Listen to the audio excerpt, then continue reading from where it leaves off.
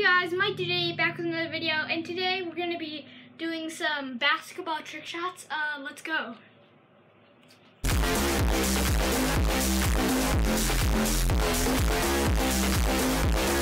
Okay guys, we can move on from that intro.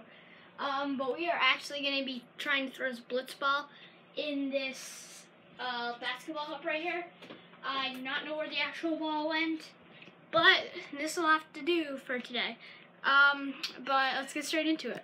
Okay guys, the first shot we're gonna try is just underhand, but we're gonna do it from up close because this is actually pretty hard to make. I was just practicing a little. It's pretty hard, but let's do it. This shot is called the POV shot.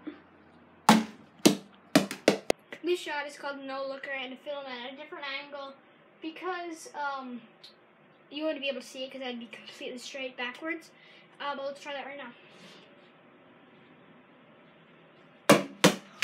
This shot, um, I don't really have a name for it, but I'm holding on a pull-up bar with my left hand and shooting with my right into that hoop. It's not that hard of a shot, uh, but I'll try it. So this is my second try.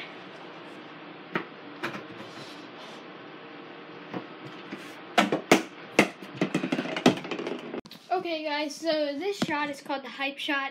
It's a pretty hard shot. I don't know if any of you guys play Fortnite, but if you do, you will know the, uh, this dance or whatever you want to call it, the shoot.